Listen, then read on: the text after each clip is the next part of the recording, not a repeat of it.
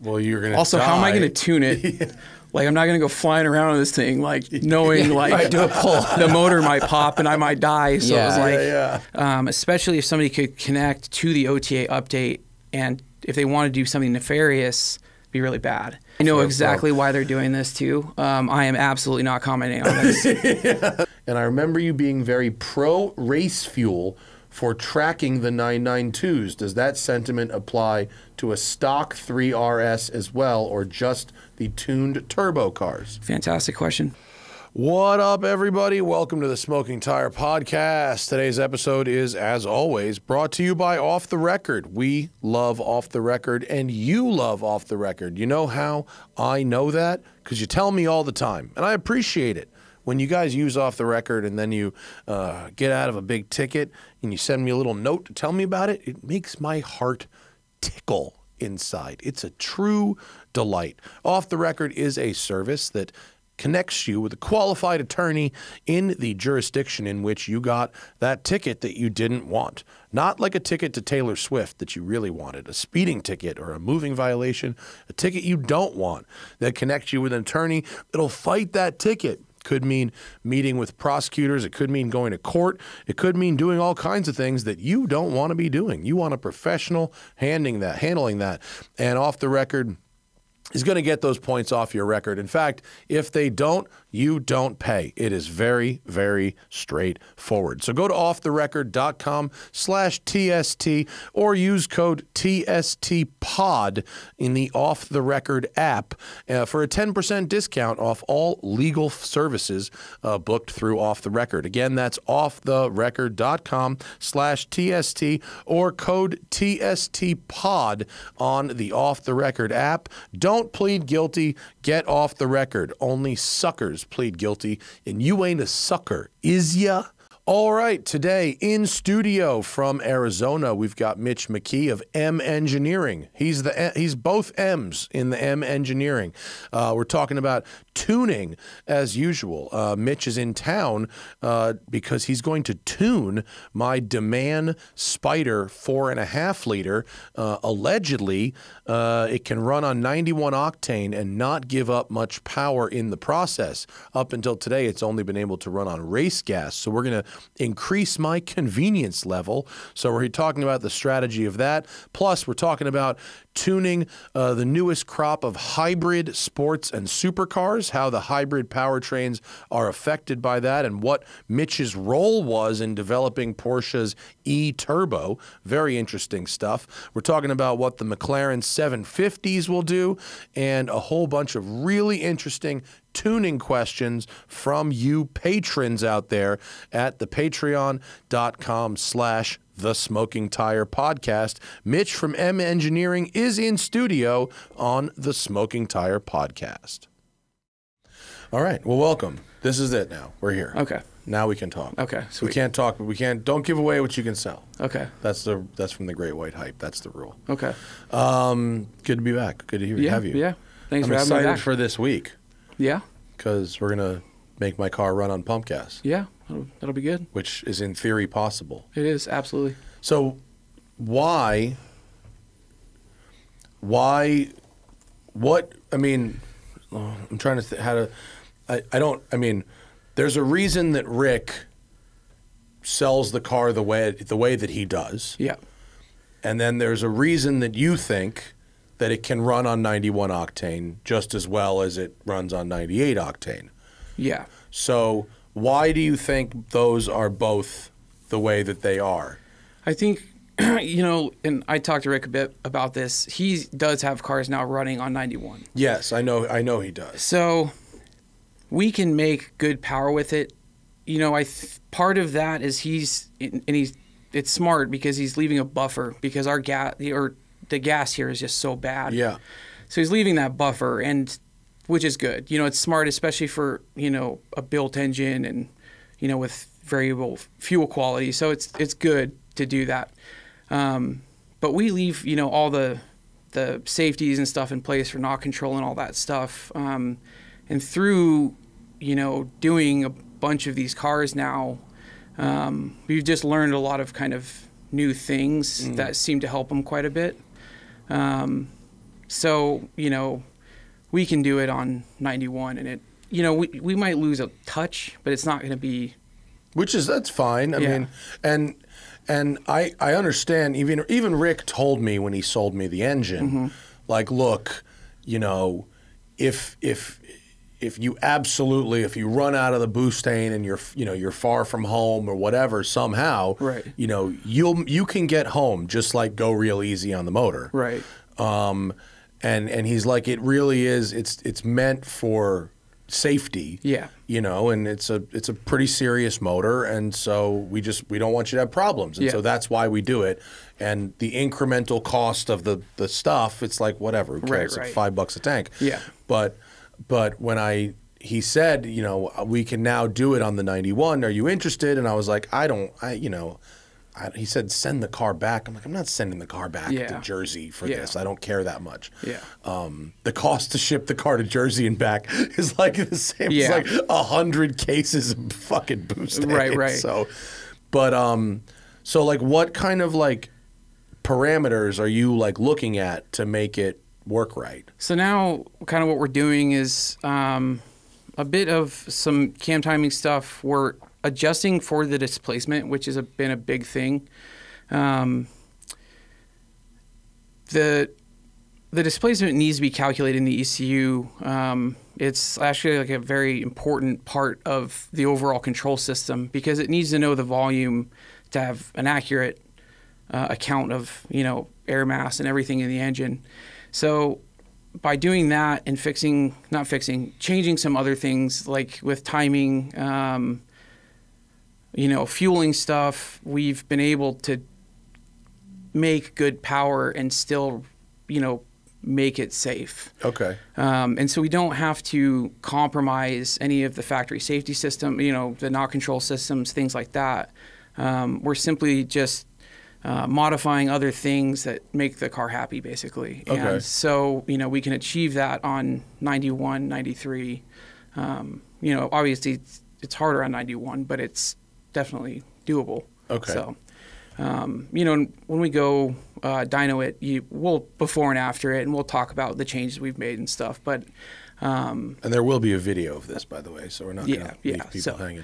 yeah, And do you think um, do you think the car will ultimately drive differently, or it should drive No. really just like it drives now? it should drive exactly the same, really. Okay. So I mean, yeah, everything should be really identical. Okay, well that's good. Yeah. How so? So you said we gotta. I, you need. I need to get the car with pretty low gas. You said mm-hmm. three gallons, which. Yeah. I can do. Yeah. So we'll do a couple dyno pulls on the on the the 98 octane. Yep. Right, and then I'm gonna drive a, drive it as low as I can get it, pretty much, and fill it back up with 91. Right. Yeah, I mean, we can probably just fill it with, you know, we'll put, we'll bring some cans of 91, like Uh-huh. f- go fill them, then we can just do it on the dyno, Oh, and then just fill it so that it's, you know, Do you want to? Do I want to get cans of like 89 so it like balance? no, okay. no, All right. we'll just kind of, you'll try and get it as low as possible, and then we'll just fill it with 91 on the dyno. All It'll, right. it'll, It'll be of- fine? Yeah, it'll mix out. okay. I I don't know. I, I, I was trying to figure out how the math works on Yeah, because the volume of the tank is big enough that you know it'll, it'll be fine. And then how much? I mean, this is a dumb question, but like, how much fu- fuel go gas is in the fuel lines? Like to go from the how far do I have to drive it to get the gas from the tank to the? It's like not far, right? 'Cause it's No. right there. Yeah, it's like I mean, not. I mean, we could probably do like a twenty mile an hour drive for five seconds, and it's Oh, really? Yeah, oh, yeah, okay. it's All right. quick. All right. So That seems like a dumb question, but like at the same no, time, I like, mean, it's it's relative, especially like when you look at things like flex fuel, because if you're going from ninety one to eighty five, Right. that that actually becomes a relevant thing. Is Yeah. because you're still going to have some before it transitions. Yeah. So, yeah, that's a good question. And like normally, I've never done a dyno tune before Okay. to go the no no. I've done dyno tune. I've Okay. never done one to go the other way. Yeah. Like I took a car that normally was like you know a turbo car that like normally would run on 91 Right. and it was like well let's do a 100 tune so you put 100 in it but you I drove it for you know a half hour to make sure that it was running you know the Right. flowing the 100 Right. but I've never gone the other way Yeah, and honestly, the the nice thing about doing the custom tune is that a lot of the time we can find power where you know even like like um, we sell like OTS maps. Most tuners do, you know, but those OTS maps we make to be pretty conservative. So there is a chance that we could find even more power because you know it's you know let's say that it's not knocking and we mm-hmm. can get some more timing out of it. You know there is there is that possibility that on the dyno we might find that like hey we can adjust and modify these things and get the power up a bit higher. Have you found much? Because you've done a whole bunch of 4.5s now. Yeah. GT3s and 718 base cars. Have you found much variation between the builds, or are they all pretty much the same? They're pretty much the same. Yeah, I mean they make good power. Um, trying to think of what the last one did on our dyno. It was a good amount. Okay. Well, I'm stoked. That'll be fun. Yeah, I'm, It'll I'm be looking forward to it. Although it's so funny because I, like, on the one hand, like, yeah, it'll be way more convenient to just run pump gas. Like, Right. that's convenient. On the other hand, I sort of like that telling people that it has to run on race gas. Okay. It's like a vice signal. Like, I mean, yeah. we could make two maps, so you could make it. So we could make it so that you do have to run on hundred. Just- I mean, it. it's it's a possibility. I don't. Re- I mean, I suppose eliminating it, but I've sort of. But you know what I mean? Yeah, like absolutely. In the world of like you know exotic cars and supercars and shit, they're all so easy to drive and live with now. Yeah. That like a little bit of vice. Like you should. No, you should see the thing I have to do with that have to do to deal with this car. You Yeah, know? It's yeah, like yeah. it's kind of like the brag. Yeah. Right. Yeah. I mean, we can make it hard on you if you really want. Well, if you do it, if you do it, here's the question: if uh, if you do it, make it run as best it can on 91, Mm-hmm. and then you do a hundred tune. Will the hundred tune probably make more power than it's making now? yes. Well, that's a delight. Yeah. And we can do that. Oh, well, I have plenty of Boostane. Yeah. I mean, or we can just put 100 octane, like, you know, full Full tank real of 100. gas in yeah. it. Sometimes the Boostane stuff depends on what you're using, but it can be hard on O2 sensors. Mm-hmm. So typically we'll just stick with like an unleaded 100 octane, like VP 100. Yeah. So, because you can get some of that stuff even in California here. At some stations, they'll sell it. What uh, what Rick told me was every third or fourth tank of the Boostane to get to fill it up with real hundred. Yeah, he said yeah. that'll that'll help with the longevity. Yeah, because it'll kind of clean it out. Yeah, Because so- like some of the stuff, like the Torco, Right. it'll turn start turning things orange. Well, the Boostane does that Yeah, too. The so- inside of my exhaust Exactly. tips. Yeah, yeah, Yeah, So, so- I, I have a there's a guy who will actually come with a truck and he's got drums of it on the truck and he'll fucking at my shop he'll he'll pump 100 octane Oh, really? for me. Yeah, Oh, it's that's not, cool. It's not bad. Oh well, Yeah. we should do a hundred then. it's all right. Yeah. Yeah.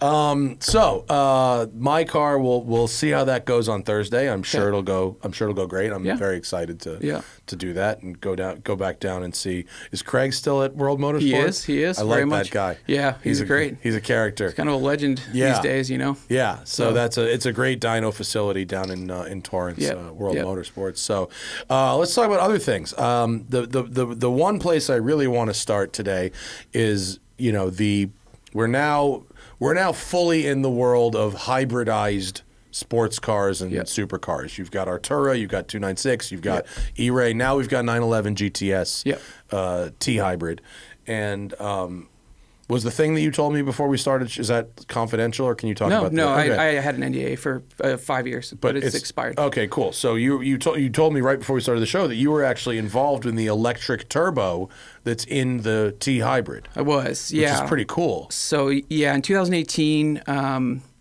we uh, I was still at Cobb, and we were um, approached by uh, Brock Fraser, who at the time he's retired now. He was, in, I think, in charge of the EFR Turbo series, but then um, he asked if we could help in doing the systems control for the ECU for the E Turbo that they were building and, and basically patenting. Um, and so my role in that was on the ECU side to make everything inside of the factory Porsche computer happy. Um, because all of a sudden we had a turbocharger that, you know, came in, you know, it made boost way sooner than it should have. Yeah. And At we, idle, basically. yeah, so it and it was, it seems to be a similar system to what they're using now. I know that Porsche did a bunch of work on it after the fact because this was, wouldn't say rough, but it was you know the first kind of test system. I, as far as I know, that was made. So, um, you know, we we did that, and um, we worked on it for actually a while. It was a pretty complicated project, to be honest. Um, it wasn't straightforward at all.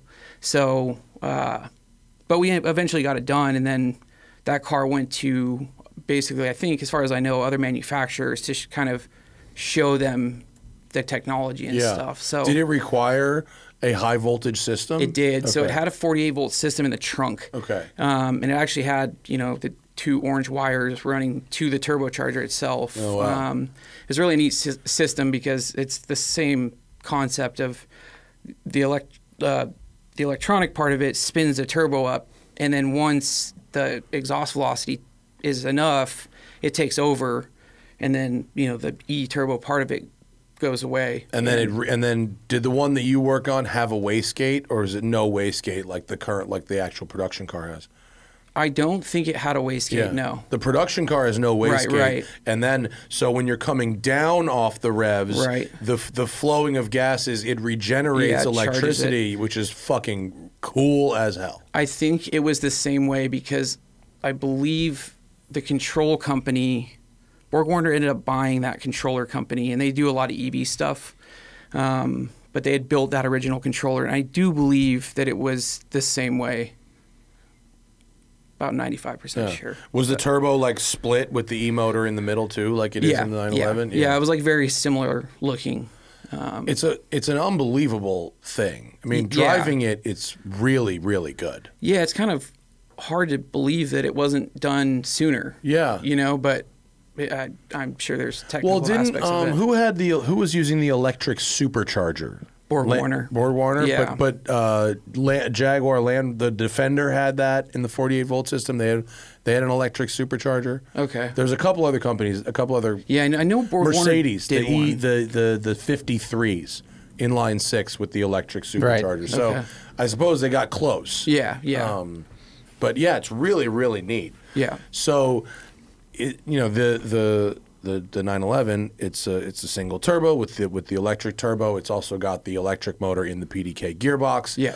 So are these cars tunable in any kind of real uh, commercially applicable way?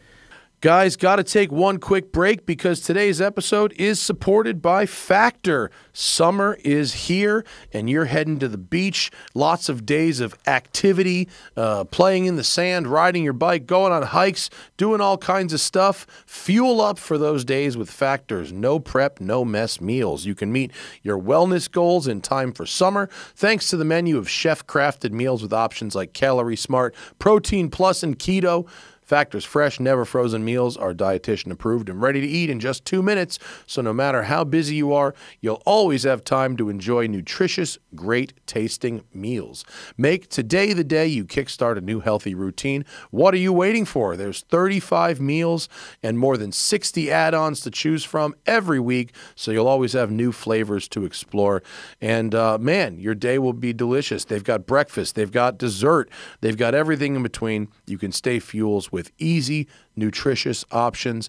And also, there's every bit of support for your different lifestyles, whether it's protein, calorie smart, keto, vegan, avoiding meat, whatever. Well balanced. Factor's got it. Head over to factormeals.com slash tire 50 that's tire 50 and use code tire 50 to get 50% off your first box plus 20% off your next month that's code tire 50 at factormeals.com slash tire 50 to get 50% off your first box plus 20% off your next month while your subscription is active We'll see. Yeah. It's hard to say because there's a in the newer VAG cars, um, they have done what basically the UN of all people passed kind of a law stating that um, there needs to be stricter guidelines for uh, gateways and, and control modules inside of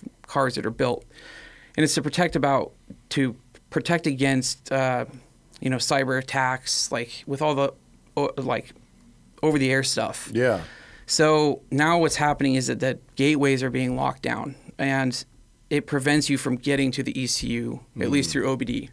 So that's one side of it is kind of the security on that, and it's so new that you know I don't think anybody's gotten past it. But the other side of it is that we've known this is going to happen for a long time because um, just in some of the documentation I have, um, and if you take the transmission off of a 992.1, they were, they already cast it with space for that motor. Oh, So we all, we kind of assumed this was coming for a long time. Sure. Um, and even in the documentation that I have, it refers to electric motors control, yeah. but it's just not used.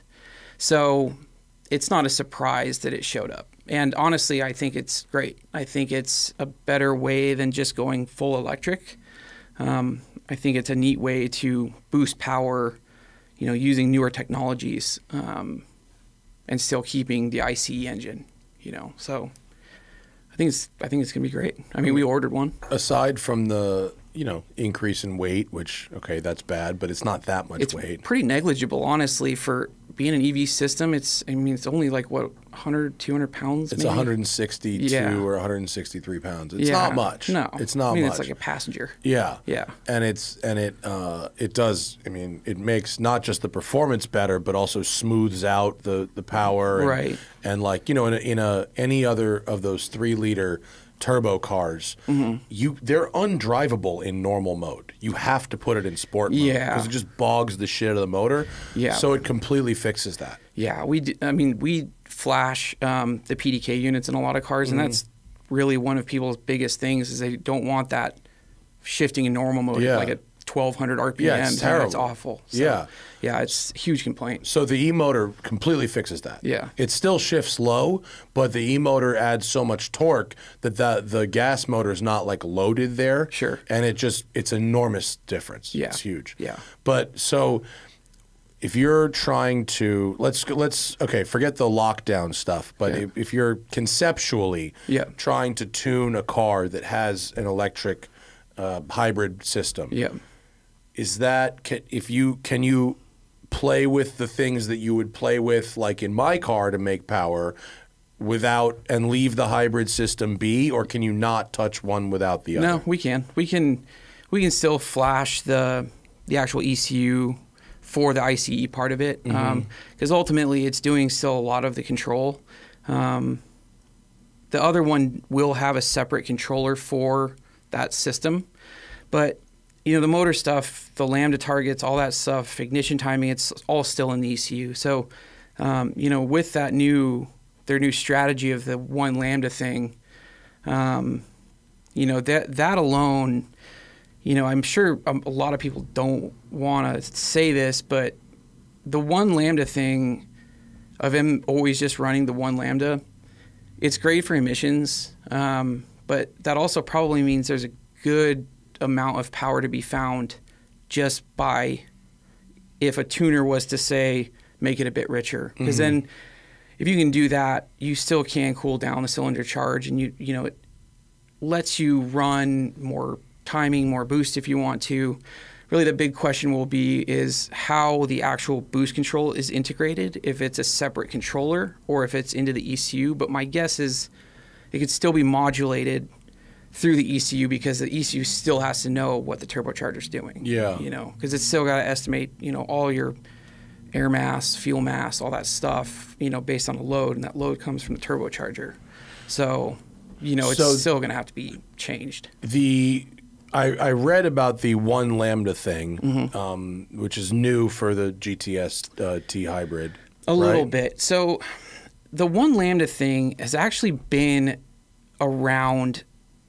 It's like it's in the 992.1, and it's in most VAG cars, n- newer cars. Um, they typically try to always run one lambda, and the the- for those who don't know what is one lambda it's just a good the perfect match for that fuel um, between air and uh, air and fuel. okay So it changes based on what fuel you're using. Um, so like it's 14.7 for gas. Um, for methanol, it's six or seven to one as opposed to 14.7. Um, so it's just the right amount. It's an emissions thing. So it's to keep, you know, clean air. It's the basically the best way to keep, you know, clean air um, in terms of like emissions. So, um, you know, there is a downside to trying to run more uh, fuel. You know, it, it the car is not as clean as it would be running one lambda. But if you tried to run one lambda and try to increase boost pressure levels and try to increase uh, like timing values, you end up, you know, over time, you're probably going to start to do damage to the car because it's going to start knocking just because the temperature inside the cylinder is so high. So that's where a lot of the power gains can be found by making them richer. Is it cools all that down and it allows you to do that, and that's where a lot of power can be found. Um, so I do think that by tuning those cars, and this is just a guess because obviously we haven't tuned one yet, but I do think that they're we would end up finding that we could make a decent amount more power.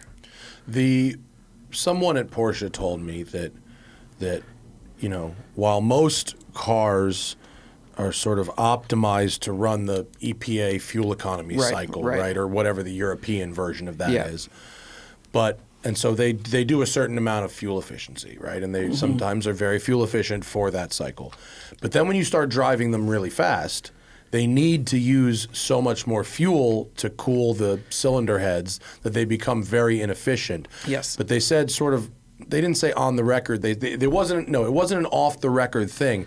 But they said they can't really advertise this. But the the new GTS is much more fuel efficient when you're driving really fast Okay. because of the one lambda thing. Yeah, and that's that's the the kind of thing is that these a lot of the manufacturers have been doing the one lambda thing, but the caveat has been is what is called component protection. So if it gets too hot, if exhaust gas gets too hot, then what it does is it switches to another mode called component protection. And that's when they'll start to like if you're driving the car really hard and the EGT gets too high, it goes into component protection and it starts to add fuel mm-hmm. into it to cool the charge down so it cools everything down. And that's that will be the big thing for us to see is if it's no longer doing that at all, what are the long-term repercussions? And you know, according to Porsche, there's none, and that could be absolutely could be true. I mean, they're fantastic at what they do. So it's just kind of a question to see what happens there. Yeah. So it just kind of goes against, not against, but they're really going for emissions now, and it's you know rightfully so. And but we'll see. I, I would imagine they have a system in there to mitigate the heat because you know if you drive it at one lambda, either the car's really dulled down so that it if it does get hot, then it doesn't cause any harm, um, or they've got some other system to do that. But it'll be Yeah. interesting to see. It might be sandbagged as hell. I It could be. They might. They might be. That motor could be pushing 650 with a couple keystrokes, Exactly. but they're running it at 530. Right. You know. And it could be also, you know, they do it that way so that, um, let's say they want to bring in the turbo or a different variant. You know, it's easy to make some software changes, and all of a sudden you've got 50 wheel more horsepower yeah. In, a, in a car. You Yeah. know, so um, I mean, I wouldn't be shocked if the you know if the Turbo S is also a hybrid that has. Yeah, I hope so, The same honestly. same version of that, but with Yeah. you know more. yeah, and I Probably think, will be. I think it will be. I mean, I would guess so because usually those technologies, you know, they use them in similar cars. So, No, and I there's, there's a lot of technology for one sub variant of a right car. like they they're not gonna Yeah. just you know probably do it in just the one car so i would imagine a turbo would benefit pretty greatly from it Mm-hmm. um, you know and hope they do it and hope they make you know another gt2 rs and that type of thing so Yeah. i mean it'd be Do you Interesting think? to see. Do you think you'll have to adjust? Like, if you turn the power up on these, do you think you'll have to adjust how the electric turbo and the electric motor and the transmission respond at all, or are they like? Is it one of those things where if they just get the signals from the engine and then they react accordingly and it's always appropriate? that's a fantastic question um, Guys, got to stop for a second to talk about Delete Me. Delete Me is so important. I mean, I I know personally someone in my family, I don't want to say who, was a victim of identity theft. And uh, someone, by getting into uh, some online accounts of theirs, was able to open up multiple credit cards in a different state and even get a mortgage in this person in my family's uh, name. This was crazy. They started getting like mail, being like, you know, your mortgage is behind this and that. And the person in my family's like, I don't even have a mortgage. Like, this is nuts.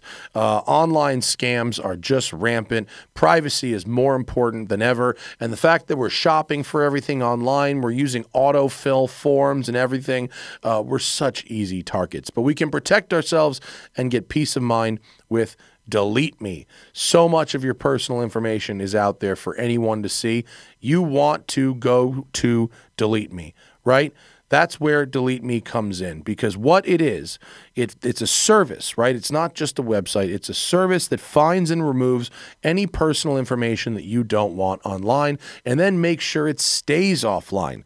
Delete Me is a subscription service and it removes information from the largest people search databases on the web. In the process, helping prevent potential ID, ID theft, doxing, and phishing scams.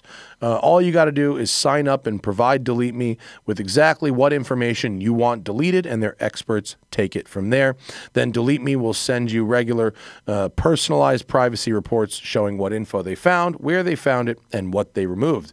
And again, Delete Me is not just a one time service. Delete Me is always working for you, constantly monitoring and removing the personal information that you don't want on the internet. So take control of your data and keep your private life private by signing up for Delete Me now at a special discount for our listeners. Get 20% off your Delete Me plan when you go to joindeleteme.com slash tire and use promo code tire at checkout. The only way to get 20% off is to go to joindeleteme.com slash tire and enter code tire at checkout. Again, that is joindeleteme.com slash tire and then use code tire. Guys, got to take a quick break for our merch store. You know that blue WCCS hat that Matt is always wearing in every episode of the show and the Smoking Tire podcast? Well, now you can buy it. Beautifully embroidered, flex fit, and uh, available now in our store. Head over to thesmokingtireshop.com or go to thesmokingtire.com and click on the shop tab. Get one for yourself while supplies last back to the show. Do you think you'll have to adjust how the electric turbo and the electric motor and the transmission respond at all, or are they like? Is it one of those things where if they just get the signals from the engine and then they react accordingly and it's always appropriate? That's a fantastic question. Um, my guess is that, my hope, I should say, is that we don't have to touch that system. I would hope that there is a control strategy loop that it knows that if it's raised from the ECU and sent to that controller, that it can respond appropriately. Um, you know, I think it might be similar to like the VTGs, like the VTG turbos. You know, they're based. You know, they they're variable, but in the ECU side of it, it's just a zero to 100 pulse width modulation. So it's very easy actually. You're not worrying about the angle of the blade. So, to that same effect, I would hope that it's something kind of similar, um, but we just won't know yet. But I mean, that's going to be kind of the ultimate question: is you know, if we modify the one, do we have to modify the other one? Yeah. So, It's probably simpler for something like a Corvette E-Ray, where Right. the where the front wheels are driven by electricity, the rear wheels are driven by gasoline, Right. And they're two they're two completely standalone Right. Systems. Right. You could, so you could. I just saw something on Instagram. Someone put a big blower on an E-Ray, and so it's like a thousand you know combined horsepower, but Right. they didn't touch anything with the electrics. right, Yeah. it's kind of like the Panameras. You know, Panameras mm-hmm. and Cayennes have been hybrid for a while, but we don't ever touch those systems, and we don't need to, and we just tune the, you know, Oh, okay. So in a Panamera, you could you tune the gas engine, Yeah, yeah. the- and you don't have to do anything. No, we don't touch And that e motor is in the gearbox too, or is that driven? Does that drive wheels? I can't remember. in the Panameras? I don't remember. My dad's Cayenne, which is not a know the answer to turbo, it's a regular Cayenne hybrid. Right. The e motor is in the gearbox. Okay. And I know because I drove it the other day on electric mode and it it uses the gearbox. Yeah. Which by the way, my dad's Cayenne, he's had it for a year now.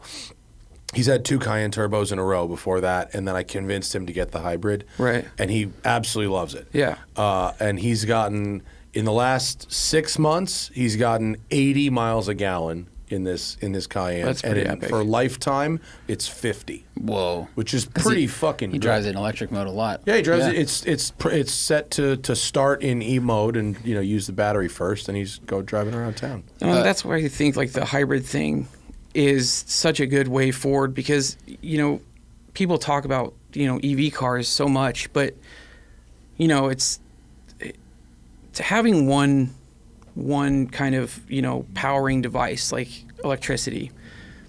You know, God forbid we go into World World War Three or whatever, and you know power station gets knocked out. It's like it's a better compromise to have two methods of drive. You know, gasoline and hybrid, and if especially if it can you know help with emission stuff, you know, which it does, Yeah. obviously, but that seems a lot more logical in terms of not having to build an entire new grid to Yeah. power everything and all that stuff. But I mean, we should build that system. We should. But in the meantime, Right.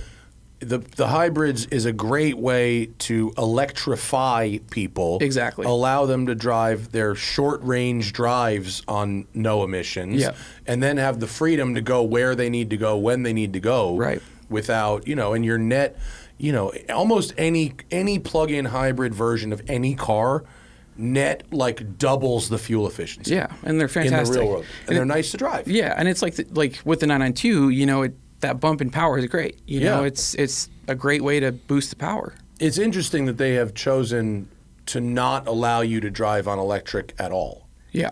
Um, it's I as part of the story that I'm doing for for Road and Track about that car. I have I sent them a series of questions, and one of them was why did you choose that? Because Artura 296, Right. E-Ray, they all have they're they're not a lot, but they all have some electric only driving. Right. The range is pretty small, but Yeah. yeah.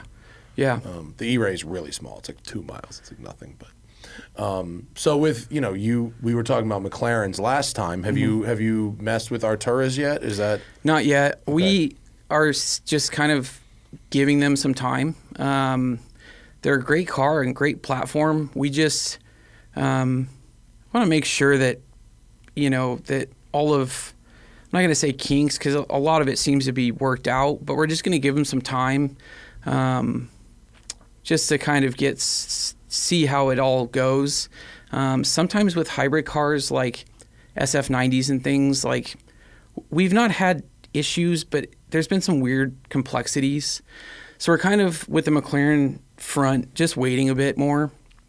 But you know, we've been doing a lot of the 750 stuff, um, and that's 750, fantastic. pretty rad. My- it's, it's a fantastic car, and you know, we've been doing we do a good amount of 765s and stuff, but it's pretty incredible how just epic those cars are, especially on track. I mean, they're they're really really good. well the 750 has like the speed of the 765, Yeah. but then also has the comfort modes that you Right. want for regular car shit. Right, yeah. 765s are real aggressive.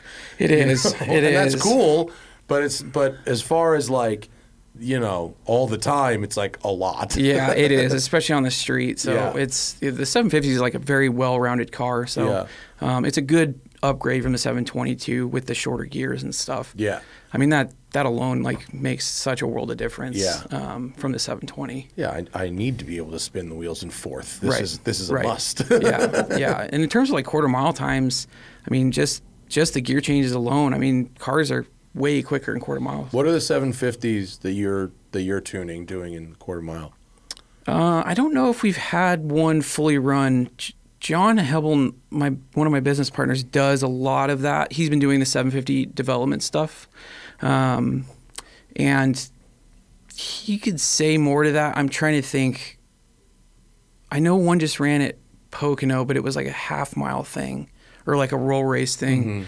Uh, I'll get back to you that on, on that. I, I don't know what they run off the top of my head, but it's it's close to, well, it should be close to an eight nine or so. So Is that what's the quickest 765 you've done? Eights? Oh yeah, it was eights with like down pipes. I mean, literally had down pipes and a flash, and it was And, either like, Pet Fred's car. or something? Uh, no, just on R triple eights. Oh, really? Yeah, as long as they do a burnout, you know, in burnout mode and then run, Yeah. like as long as it cuts a one five sixty foot, like it's gonna run an eight. Wow. So- that's, that's real fast. Yeah, I mean, for a car with not much done to it, like Yeah. I mean, I think we've got seven six fives down to the eight sevens, eight eights. Like, Wow. We've got somewhere on our page that shows all the records, but it's uh, so fast. they are they're Yeah, really fast. That's that's fucking nuts. Yeah. So That's crazy. They just sell that to people. yeah, well, the same could be said about like a Tesla, like Oh yeah. like oh no, we just had the Lucid Sapphire. Like Oh. that's like that's really dangerous. Yeah, my buddy at. World has a has one. Chris Rado. Yeah, yeah. yeah, yeah. He bought one. They're fucking nuts. Yeah, that's what he said. I mean, he, he was a professional drag racer. Yeah, yeah. He said they're crazy. Yeah, so oh shit, sorry. We uh we uh we just had one and we took it to the drag strip at Sonoma. what did it run? I mean, with we with it was like an it was uh, like Nine first something? first run, two people, no helmets, and it was like a nine flat. Oh my god. Yeah, that was nuts. How much do those cars cost? Two hundred and forty nine thousand dollars. Cheaper than a McLaren 765. They are cheaper. Very than true. Seven six five. Very, very and true. in a year, it'll be about eighty nine grand. Right. so so you can have one very soon for very cheap. Yeah, yeah. that's- but like, especially in the electric, like at least in the in the McLarens, like it's it is very fast, but it actually feels even like faster Yeah. and crazier. Yeah. The the the electric cars. They're, they're so quiet. They're so sort of planted. Although the Sapphire did move around quite a bit in the quarter mile. It did move? Yeah, it moved Huh. around a little bit. Um, That's terrifying. yeah, but you you have no idea how fast you're going. I mean, you just there's no frame of reference. Right, right. There's no sound. it's just of all gears. torque all the time. Just a Yeah. straight line of torque. The number of times on the road course I had to look at the speedo to go, what? How fast am I going? I got no idea. And I go, oh, I mean, Yeah. frequent. Oh, 130. Oh, Right. okay. Yeah. Yeah, it's it's hard because like you drive a car on track, and you know with internal combustion cars, you can kind of start to get the feeling of where you're at in the rev Yeah. range and how fast you're going just by the noise. If Yeah. there's no noise, like This is a third gear corner. This is Right, a fourth gear corner. right. This is- an electric car, you have none of that. Yeah, I don't know if I'd want to turn an electric car going that fast, but That's why I, I really like this the new Hyundai, the Ioniq 5N, which has the synthetic Yeah, yeah. gears because it has that thing that you need Right. in order to place yourself properly on the track. so the Lucid is it just one? One. Oh my gosh! One endless fucking wave of torque. Did you find a top speed on it? We don't have room for that. Okay. It- I mean, they say it'll do 200 miles an hour. I believe and it. I don't see why it wouldn't. Right. I mean, the fucking thing. Just go. You should see, you know, allegedly, 100 to 150. y- You, you cannot believe.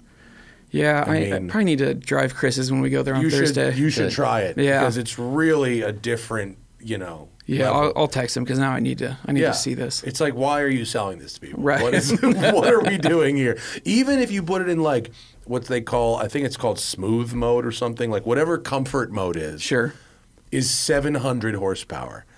And, and it's like, if you fucking smash the throttle in smooth mode, it's like, whoa, okay.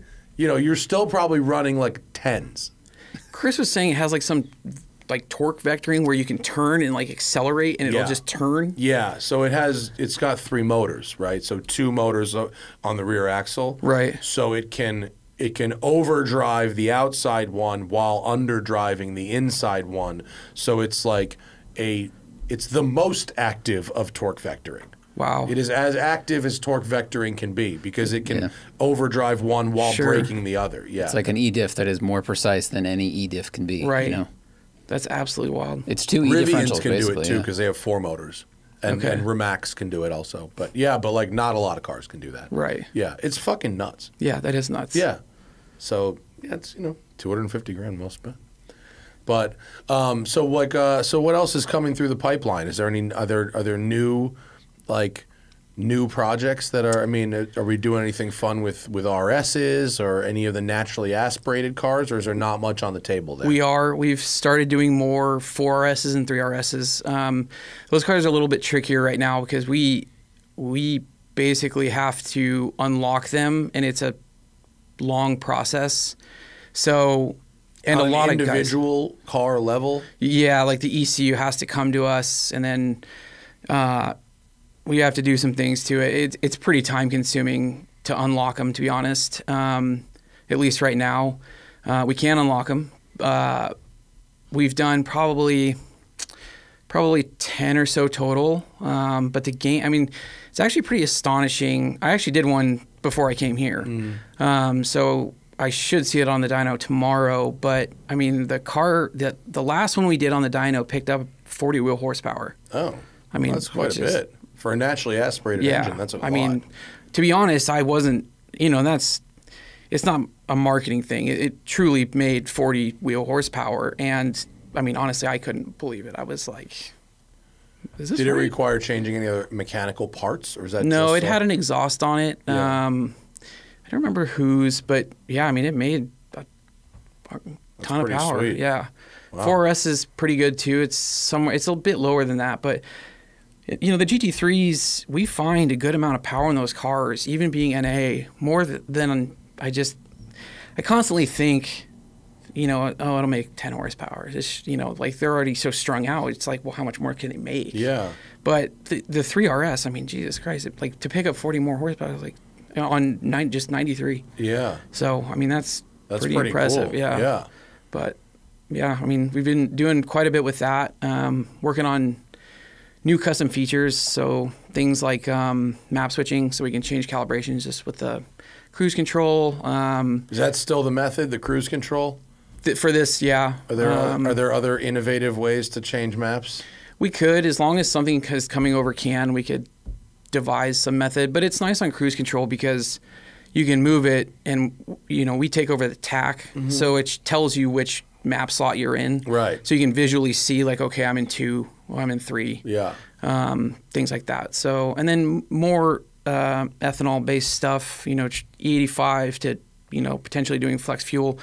Those are a little bit more difficult, not so much in the code sense, but the the um, if a car is able to handle that. Like a good example is like the 992 turbo can't run full E85. It doesn't have enough fuel system, while the 992 Carrera can run E85. So Oh, that's interesting. um, you know, but what we don't want is a guy with a turbo to go and try and fill up on, with E85 because then it just things just runs lean, and so we have to create protections against that stuff. So Oh, okay.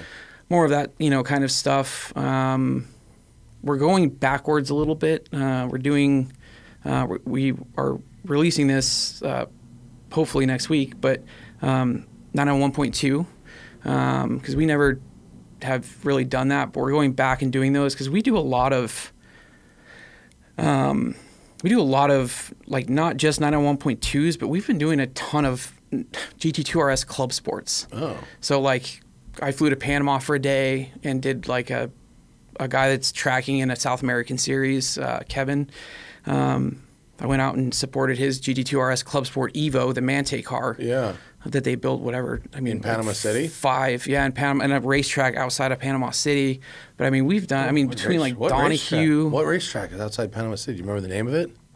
Autodrome. I it, I don't remember the name of it. It's brand. They were It's literally making the track and they were running on it. Oh. So it was there was dust every. I mean, Sounds like Panama. it sounds like God, I Panama. want to go back to Panama so bad. We were there in 2013, and it was really fun. We had a good time. We met some really cool car enthusiasts. Yeah. Built some crazy shit down there. But Yeah. there wasn't a lot of places to drive it, and we were like, man, I wish there was a racetrack. here." Yeah, so they're they're trying to get it like F, FIA certified. I uh-huh. guess, and like it's.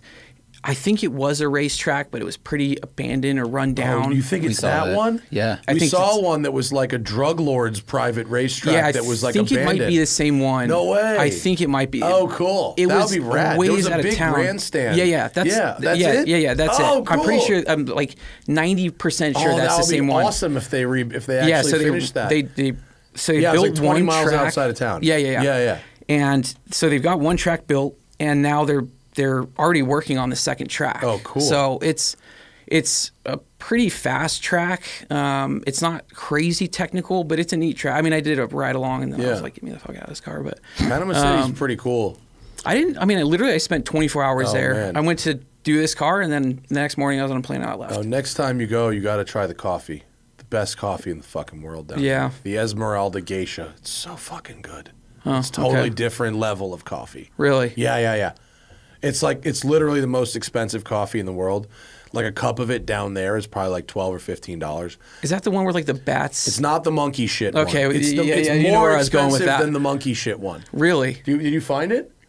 Yeah, here it that is the place. Autodromo Panama. Yeah, that's the place. Oh yeah, on the right. That's that big old Yep, school yep, grandstand. yep. Yeah, this was the spot. Yep. Yep. So that's where we were racing, but We sort of like tried to sneak into this place when we were down there uh, 12 years ago, and uh, we sort of got adjacent to the property, but didn't quite sneak in. But yeah, that's it. Look at that. Yeah, see, so like they redid all the track, but when we were there, they were running one of the dusty. first. I mean, the car came back and it was just covered in dust. I mean, um, we ended up killing a fuel pump, a low pressure fuel pump, because somehow so much dust had gotten into the fuel Oh, tank, it the fuel cell, that Yeah. it killed the low pressure pump.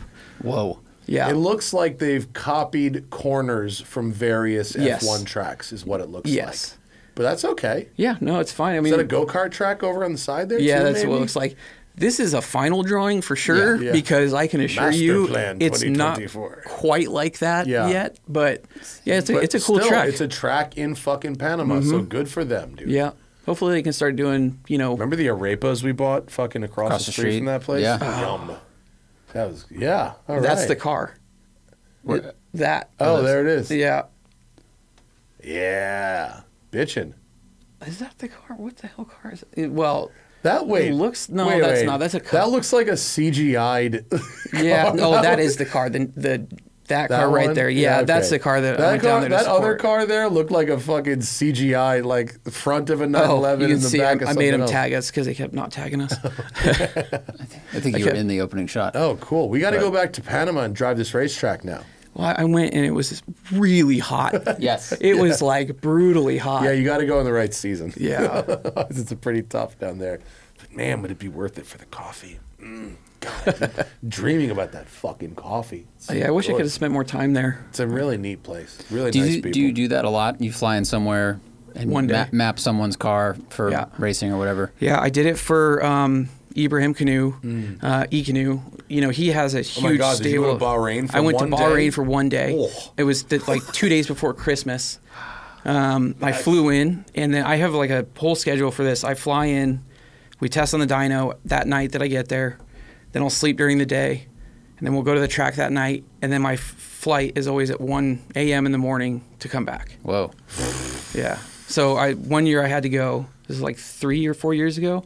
My wife had to meet me at my parents' house in Colorado because I found out two days before that he wanted to go race, and so I got on a plane, flew there. Shit. 24 hours, came back, and I flew. Ended up flying back to meet my wife and my family. Can this not be done remotely?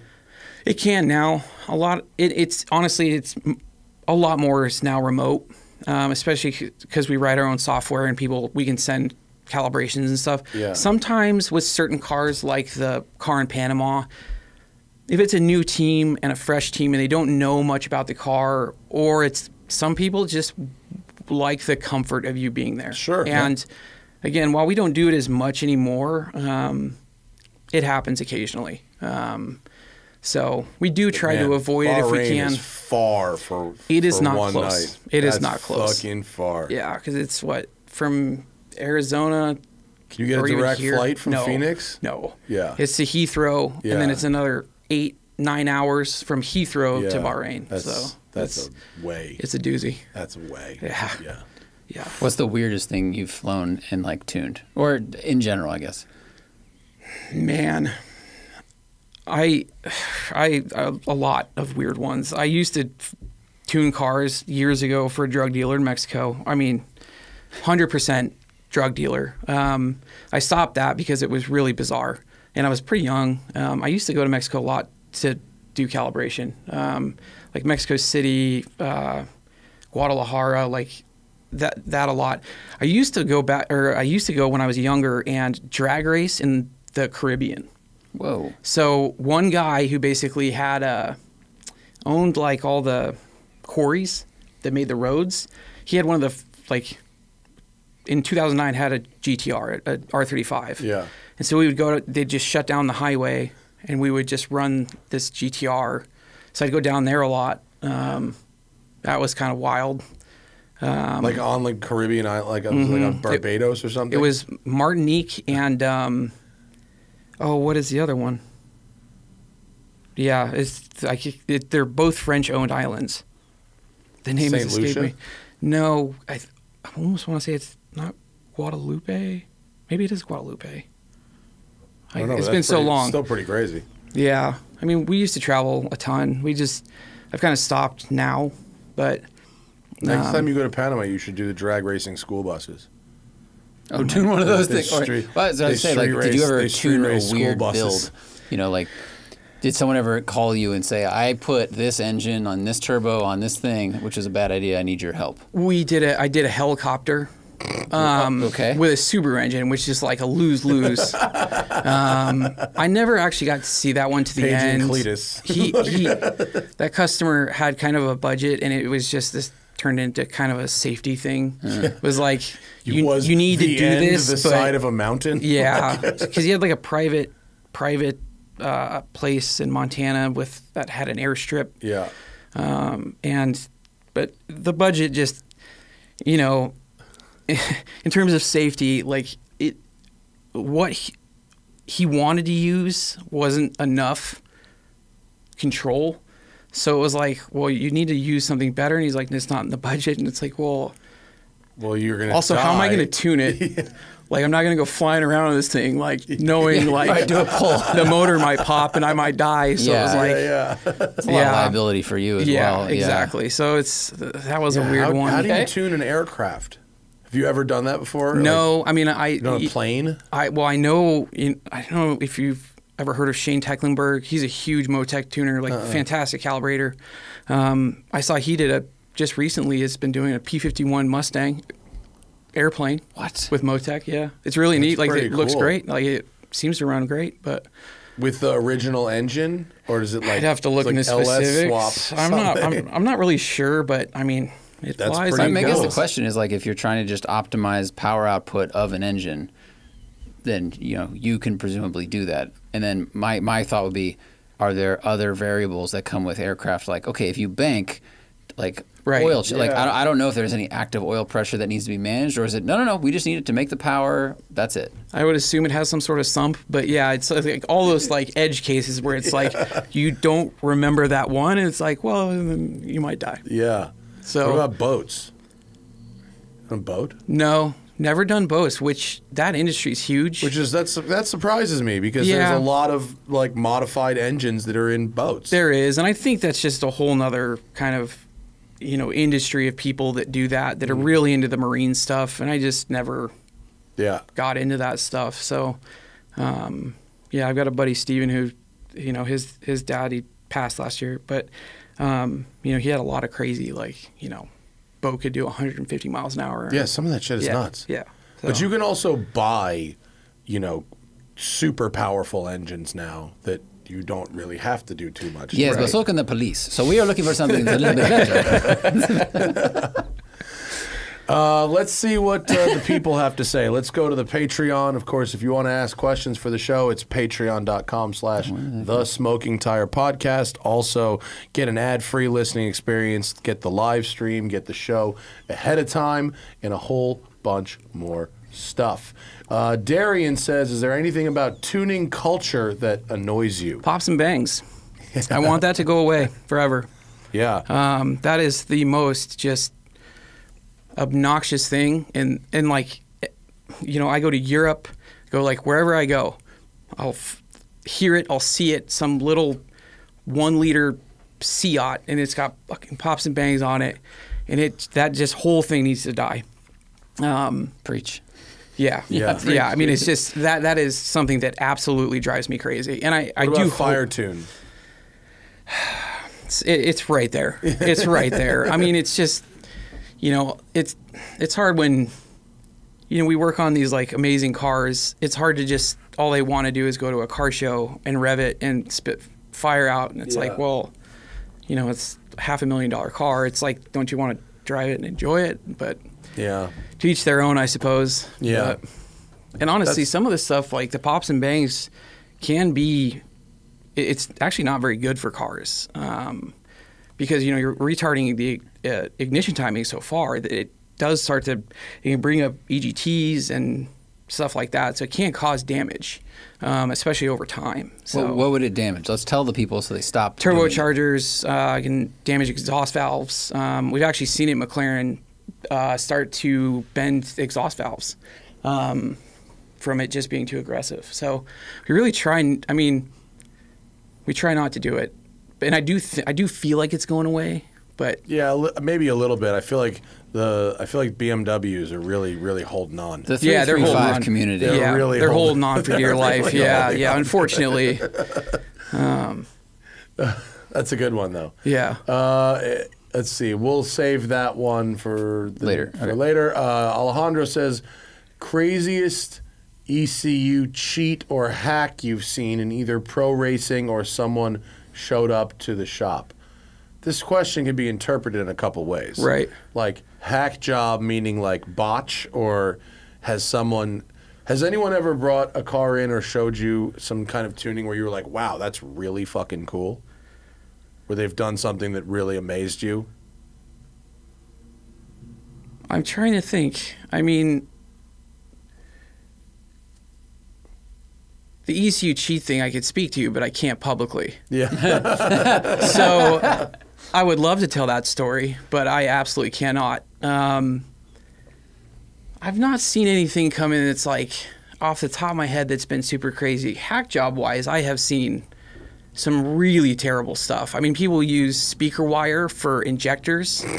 Um, I mean, I have seen just about everything. Um, you know, typically, especially when I worked at shops like AMS, you know, we did pre-dyno inspections for every car because you don't want to get a car on the dyno and it have a bunch of mechanical issues. Yeah. So we would, had a checklist, and I mean, half the cars would fail that came in because, and we saw just crazy stuff. You know, people would cheap out on that, but pay us a bunch of money to tune the car. But Yeah. it's like, well, we can't tune the car if with fucking speaker wire Yeah. or injectors. You know, it's like, so yeah, we've seen quite a bit of that through the years. I mean, My a mis- Ferrari 328 had interior door cards literally made of duct tape. Someone made a sheet of Oh, duct tape. It was like this big. I made the whole interior door card out of it. Yeah, it was, it was actually it was so bad that it was impressive. Like Why- the amount of just effort. why? I don't know. The amount of effort it would have taken to do that, they could have just gotten the right thing done for sure. and it's a Ferrari. And it was a Ferrari. Yeah, yeah, That's insane. yeah. It was wild. yeah. They could they could have gotten a sheet of plastic, which wouldn't have been right. No. but they could have cut it, and it would have been better than individually laying strips of duct tape. Well, the like right, they were shingling. a ironically, roof. the right thing, it is a sheet of plastic. But it's it's just a sheet of plastic that says Ferrari on it. no, no, I know. they should have replic. They should at least try to replicate the OEM. Yeah. and, Right. You know, Yeah, you could have gotten close with a hefty bag, but like That's what I'm saying. Instead, they used duct tape. Yeah, Yeah. crazy. Yeah. Uh, we already, I think we already covered uh, Chris Navio's question here. Uh, Trevor, we can save his questions. He's asking, unless you have, a, do you have an opinion on wool seats? Can't say I do. Well, you fucking should because they're awesome. Really? Yeah, Volvo's wool seats are really, really good. Uh, Philip LaFranca says, uh, Mitch, what is your favorite car to tune? Honestly, I gotta say probably the 992.1. 2.1. I Yeah. mean, I they're fantastic cars and The, the Carreras or the turbos? both. I Yeah. mean, they're both similar in strategy, um, just overall control strategy. I mean, to be honest, I'm kind of obviously biased towards the Porsche stuff. Um, you know, it's uh, it's what I've done for a long time, along with McLaren. Like I said, John is does you know the 99.9% of our McLaren stuff these days, and he's you know just phenomenal with it. But yeah, I mean, just I love tuning Porsches. Like I really do. I enjoy them. They're you know like the GT3 to see it make 40, 50 horsepower. That's I mean that's fantastic. You know. What do you think, if you're willing to do some basic bolt-ons and tuning, what 992 is the best sort of value? Like, should do I do if I went and got a Carrera T with a stick? Yeah. Is that is that the move, or should I get should I upgrade to like a GTS? Well, that's kind of the thing is what we've got a lot of customers doing is buying tees and bases and putting the GTS turbos on them because Yeah. they're just a direct bolt on.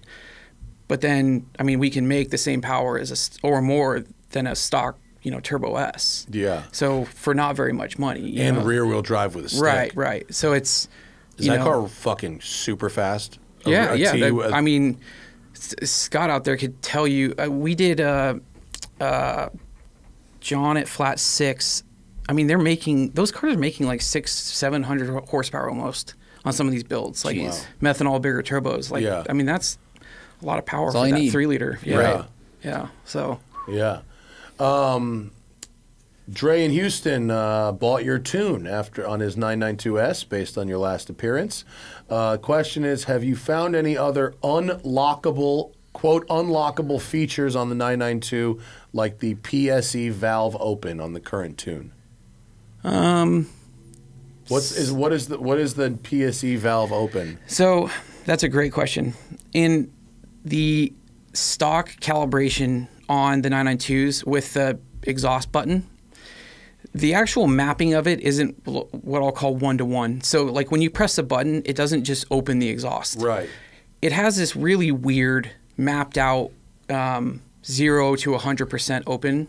Uh, so, like as the load and the the engine speed change, it opens it more or less. Mm-hmm. The PSE valve mod is simply when you press the button, it's open. Yeah.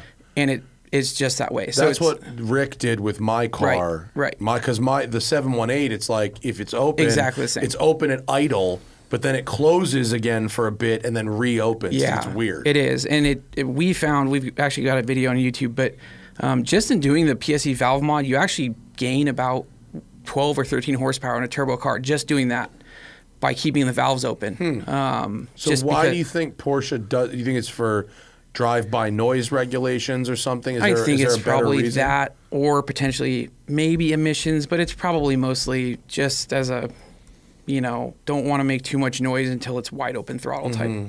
type thing. But it's an it's it's kind of wonderful because it's like you can turn the knob and it's quiet, but then it's like you can you just add an exhaust system by turning the knob to sport or whatever. Yeah. So it's nice because um, if you don't want it to be quiet, you can make it, you know, put it back into normal, and then once you go into sport, then it's you know, loud and whatever else. Yeah, so. that's good. There, uh, so are there any quote unlockable features? I'm trying to think of Unlockable is a weird word, but is like, are there other features like that? Yeah, we've we do quite a few now. It's um, free free rev and neutral. So the 992 factory, Oh. if you're like in neutral, it'll only go to 3,000 RPMs. Yeah, yeah, yeah. So that's a weird one, but um, a lot of guys ask for that. Um, trying to think. Uh, That's a good one. It is. Yeah. can you can you change it so that the car doesn't default to startup in with stop start activated? Yes, that's You can- another so you can huge one. eliminate that. Yeah. Can you do that on my car on Thursday? Yes, we can. Oh, thank God. Yeah, yeah. All right. Cool. Yeah, Yeah. that that one's like a very very. Yeah. I mean, outside of PSE, like that's probably the most requested is the start stop. Yeah. Uh, Although it- I'll tell you what, in that GTS hybrid, stop start, I'd probably leave it alone Okay. because it, with that e motor in the gearbox, it doesn't. It's like it- seamless. It's so seamless. Yeah. It just it doesn't. It just it just goes from not running to running Yeah. instantly. It's real cool. Yeah, it's not like our rental car out there that when it shuts off. And, yeah. Yeah, no. I mean, there's some cars where I stop, start, stop. It's like, all right, fine, whatever. But a sports car, like, fuck yeah. Yeah, no. No You ever been in an Aventador with start stop? No. They pro it has it, but they the conditions that need to be met in order for it to actually shut the engine off are Right. Oh like hilarious. It's like God. one out of a hundred. You know, you could you don't touch it, you drive it around for a week, maybe it'll do it once. That's bizarre. It's really strange. Bizarre car. Yeah. Uh, here's a good one. Dane Blue says after uh, installing your tune in my uh, 911 GTS, I'll be a supporter for life. Customer service is off the charts. Uh, I recently traded up to a new GT3 RS, and I remember you being very pro race fuel for tracking the 992s. Does that sentiment apply to a stock 3 RS as well, or just the tuned turbo cars? Fantastic question. Um, so we typically tell guys, especially with um, turbo cars, uh, to just use the best fuel they can find if they're going on track, and it's for pretty obvious reasons. You know, they get really hot um, doing lap after lap, especially you know at like COTA in August. Mm-hmm. You know, it's um, the same thing applies for pretty much any car. We just tell people to use the best fuel possible. Um, it's it's kind of just a safety buffer, um, even in the NA cars because they can start to get hot. I mean, they do get hot, and um, power they'll start pulling power back, um, and we do leave all that stuff there, so it will start to protect itself if it gets like too hot. But the nice thing about the race fuel, and either tuned or in like the 3RS, is with a better fuel, it's going to stay more consistently quick for longer. Mm. Um, and that's why, yeah, I would say whatever you can find. You know, it's I don't really like people going out on track with tuned cars on 91, like because the fuel's so terrible. Yeah. Um, and if they do, what we'll typically do is we'll make a calibration for the track. Like it's especially for like McLaren guys, um, you know that do track their cars quite a bit. We will make a track specific map that's not running quite as much boost, just so they don't overheat and have issues. So, yeah. Um, that's a good one. Yeah. yeah. So yeah, if you can find question. if you can find race gas, get race gas. Yes. Yeah. And the hotter it is temperature wise, yeah. the more you want the yeah, race gas. Yeah. Okay.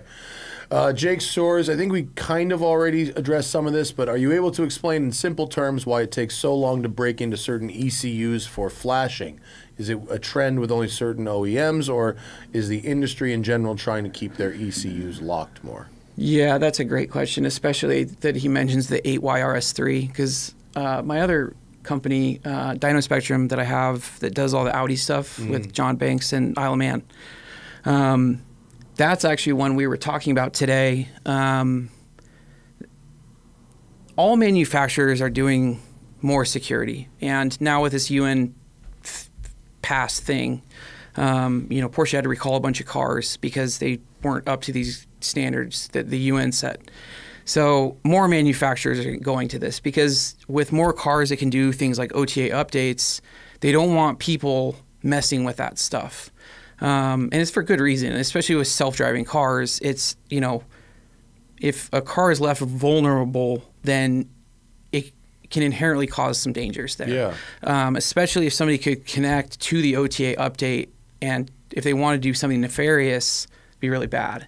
So wait, so so so the the difficulty of tuning a car was kind of lumped into the cybersecurity stuff with the UN, with the Cayman and the Boxster. That the the Macan, what it was a Macan and the Cayenne. Um, no, in the seven one eights. Okay, in yeah. in yeah, in so Europe, that yeah. was wow. due to this kind of updated UN regulation, and we call them they're they have a name. They're called UN ECE gateways, um, and they're now found in basically all 2024 um, Cayennes, I believe Panameras, you know, Audis like RSQ8s, RSQ7s, pretty much anything in that MLB Evo platform um, has this gateway. So, and more manufacturers will start, you know, they're locking stuff down. They don't want to deal with warranty concerns, and it's, you know, I understand why. Yeah. So, um, Oh, Caleb wants to thank us. He used off the record to get out of a ticket. Shout out to him. Nicely done. Nice. Always fight your tickets. Okay.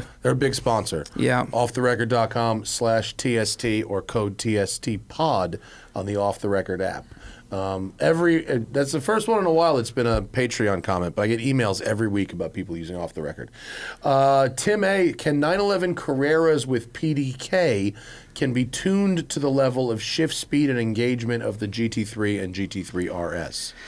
The the answer to that is yes and no. In the earlier versions, like the 991.1 and the 991.2 PDK, we actually that's especially on the, the point one, that car PDK flash is night and day in terms of shift speed, and it comes basically from the GT3 stuff. So you're you, basically just putting the GT3 yeah, and it's night and day. Uh-huh. Like I mean, literally is not even close to the same. So it's yeah. basically the same shift speed as the GT3. So uh-huh. yes, we can in some of the earlier cars. The newer cars, not so much. They shift pretty quick already. Um, the GT3 is a bit faster, but it's not the same. Well, there's also level. a it's a slightly different bit of hardware. There's It is. Mm-hmm. seven gears instead of eight. So there's you know and there's there's other different stuff there. There's There different is. flywheels and different like that. computers. So Yeah. now, like the GT4 RS has what we call a PDK one, but the GT3s and um, the 992s have what we call a PDK two. These are two completely separate controllers. Like they're completely different code. One's b- built by ZF, the PDK two. Uh, the other one's Continental. Oh really? Yeah. So it's things like that where they're quite different. Interesting. Uh, racing for tips. Have you ever played with any E eCVT or CVT mapping? Nope. nope. I have not. I mean, I just it's a not my favorite transmission. Um, Shocking. I, I don't see. I mean, to be fair, I don't see many CVTs in cars that like high performance cars. Um, you guys would know more about that, but I don't think it's a. WRX. I mean, what's what's the fastest car that has a CVT right now? So I do know that Cobb is flashing the CVT and the WRXs now, I believe. Really? And I think they're doing.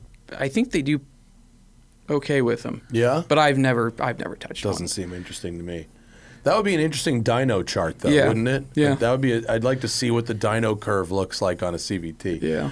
Um, Let's see. Jadis Combs, with nearly aspect, nearly every aspect of modern cars being computer controlled, does that put more responsibility on the tuner to create more of the feel that is naturally present in analog cars?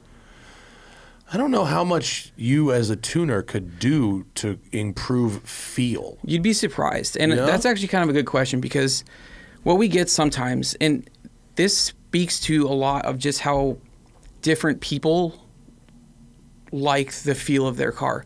So we get asked sometimes, you know, in like the turbos and stuff, if, you know, the, the torque gain's quite large. Let's say it's 80 to 100 foot pounds. Some people don't like that punch. They would rather it feel more linear, like almost like an NA car. But so we do sometimes make calibrations for people that want it. They don't want that punch. They want just power to carry all the way up. Um, and so we do actually tune for that um, if people request it. You know, if people are like, most people just want like Most people want, it to feel more powerful. Exactly. But some people they want, especially if it's like rear wheel drive and they just blow the tires off. Yeah. They don't want that punch. They want, want more of a just natural, natural like linear power band. I'd probably want that for a front wheel drive car, actually. Yeah. Yeah. Well, I it's mean, like we talked about the early turbocharged M3s, M4s. Yeah. You know, huge torque from Oh, you know near 1200 Yeah, RPM, yeah. and it was too much. It overwhelmed the rear tires. Right. So I think it's more progressive now. Yeah. Yeah. Yeah, those F80s are better with like a big turbo swap and a little more lag, actually. Yeah. Really. Yeah, the the the stock turbos were already BMW from the factory was like all the torque right now, Wow. and then people would tune them, and it would be like even more torque right now. And so if you put a bigger turbo on it, it just naturally developed a little more lag. Sure, sure. And it actually gave it a little more drivability. Right. Right. Uh, Flannel Bob, this one's interesting. What is the most expensive sensor you've ever seen being used on a car? That's a great question because we're doing some sensor stuff right now. Um, the big ones are the um, that I personally have on my car is actually um, is uh, an INS. It's a, uh, a sensor that uh, one of my good friends actually makes, Sander. Um, he, it's it's a GNSS system. It's we use them in race cars basically so that we can get um, accurate uh, speed. It's basically a six-axis gyro, um, but it it's fast. It's 400 hertz, so the sample rate's really really good. So, um, and that actually is a cheaper version of the Kistler one, but it's these are sensors that OEMs use.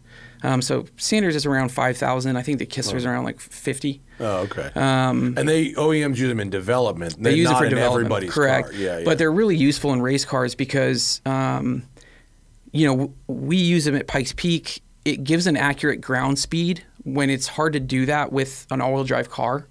Um, because typically you would use something like an optical sensor that points down at the ground, but there's issues with that because if, and I was just actually talking about this the other day, in the, like the Lambos and stuff that can do wheelies really well, uh, or do wheelies Yeah. when they're drag racing.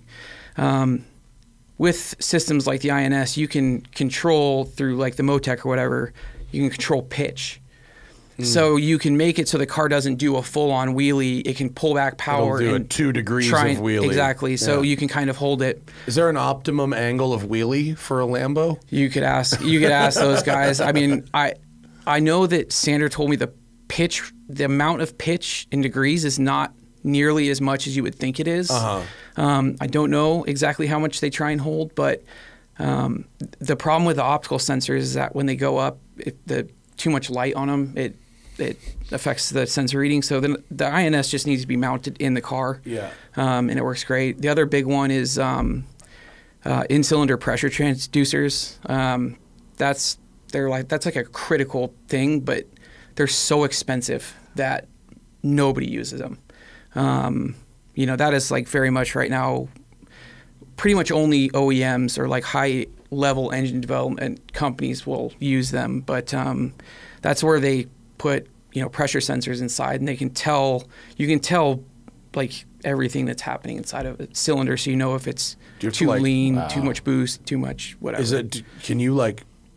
Do engines like have room for that, or do you have to have basically a throwaway engine in order to do that that you're drilling holes into? That's a the sensor? fantastic question. So, um, what most have been doing till now is that they're drilling the sides of the heads of these cars and Yeah. putting sensors in them. Um, there is now, though, uh, companies that make they're modifying stock spark plugs Hmm. so that they can, you know, you screw the spark plug down in it.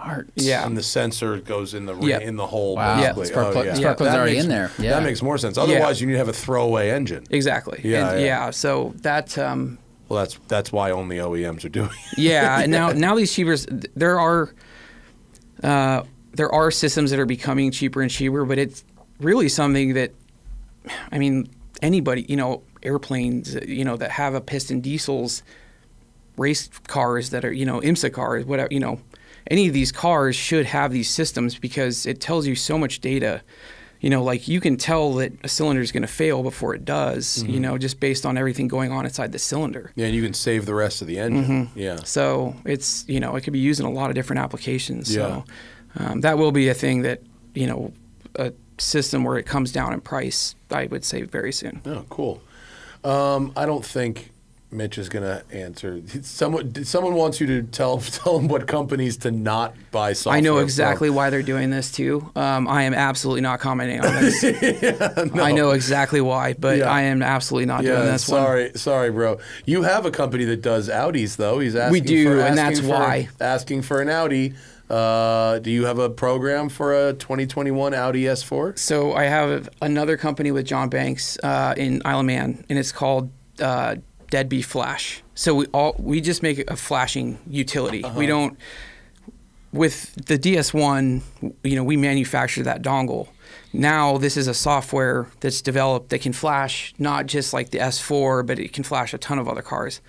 But um, in the S4, we don't make any calibrations though. It's simply something that somebody can buy a cable, plug in, and have a pro tuner do. We don't do the pro tuning. The issue is in that market, those guys just keep going at each other because the cars keep, the motors keep popping. And so it's a big debate around Oh, who's, who's good and, bad why, who's- you know, and it's, so it's just like, yeah, I don't tune them, just, Smart. Yeah, yeah, just yeah. uh, that's funny. you can flash it with our tool. So Yeah, you, you make the wrench. You're not the mechanic. Exactly. like, Yeah, yeah, Mm-hmm. okay. So we understand the the reasoning for that question, but like, yeah, you're not. Yeah, touching it. Uh, last question. Is this the last one, Zach? It looks like it Yes. is. Toblerone Malone 991 and 992 GT3 Porsches with manual have the ability to no lift, upshift, and downshift at any RPM or throttle throttle position. Uh, I don't know why you would no lift downshift, but okay. Uh, is it possible to tune the 718 Spyder or GT4 to have this feature? Andreas said the GT4 would get it, but it never shipped with it. Can you do a no lift shift on a 718? Yeah, we could with custom code. Yeah. Yeah, I mean, no lift shift was stuff we used to do years ago in cars. We actually haven't been asked about it much. Um, Because people aren't fucking drag racing manuals. Like, Yeah, I mean- gives a shit really. yeah, it is code that we could do, um, we could add it. It's just honestly, like I said, it's never really been requested in those cars. Hmm. So Interesting. yeah, Well, I think we went went around the world there once. yeah, I liked it. That was good. That was good. Good. Yeah. Last words. No, All right. just gonna enjoy this weather. Yeah. Before I go be- back to Phoenix. It's gonna be nice, and uh, and then we'll uh, we'll see you on Thursday at Yep. the dyno. Yep. And we'll uh, we'll play around with my pink car. Yeah, looking Turn- forward to we'll it. Deactivate start stop. yeah. Fuck yeah, dude. But we're gonna leave the the one to one valve, the exhaust Oh, yeah, valve. yeah, yeah. That's yeah. that's already in.